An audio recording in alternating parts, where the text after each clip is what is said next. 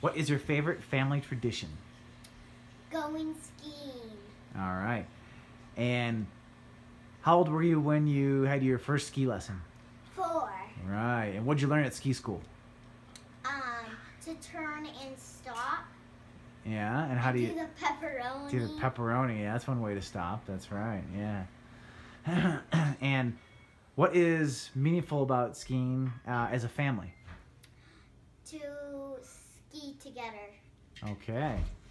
And what is meaningful to you as skiing? What do you like best about it?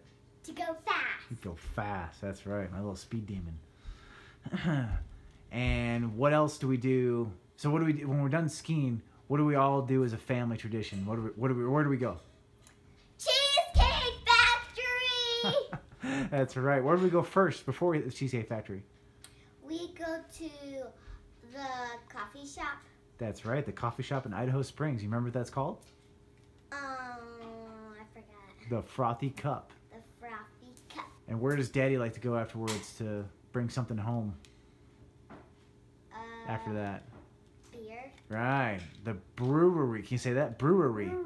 Yeah, Tommyknockers Brewery.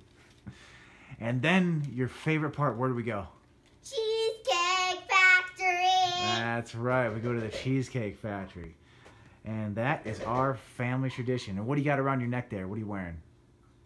Um, my skiing pass. Your ski passes. Right. You know what those are for? Um, for um Miss Naraki to know where I went skiing.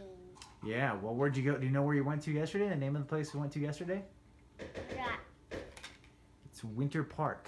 Winter Park. Winter Park. Yeah, that's part of your Rocky Mountain Pass. And then you get the uh, Epic local pass, too. So you get the Vail Resorts. So, Yes.